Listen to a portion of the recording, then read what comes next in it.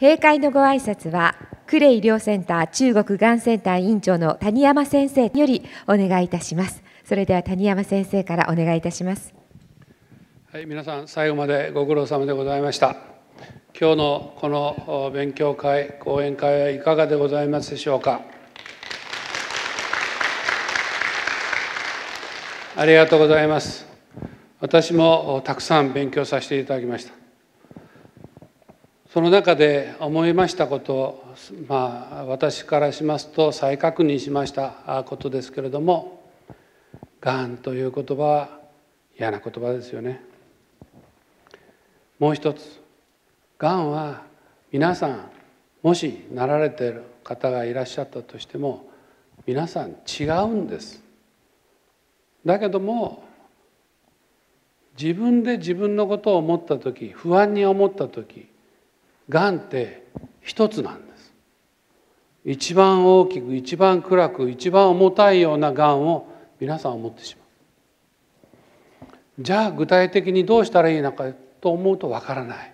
怖い不安なぜか。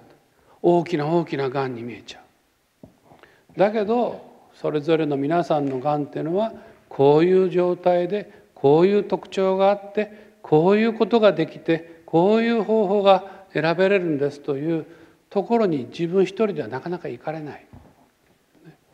どうしても一番悪いことを思ってしまう。でもそんなことはないんです。がんというものはいろんな治療があります。確かに早く進む人もいますけれども自分がそうなると決まってるわけではない。必ずそこには望みがあるはずです。一日一日を大切にしましょうという言葉も望みの一つだと思います。そのようなことをですね私は今日本当に再確認させていただきました。我々医療者も万全ではありません。わからないこともあります。できないこともあります。ですけれども少しでもいいことを少しでも役に立つことをと思って勉強してまいります。その時のやはり一番の支えは患者さんの協力です協力をしていただきながら一緒に勉強しながらより良い医療はどうしたらいいのかということを一緒に勉強させていただきますので今日のまた我々も勉強させていただくことを支えにいたしましてあの頑張っていきたいと思います。もう一度言います支え支え合うのが医療者と患者の関係だと思います。今日はどうもありがとうございました。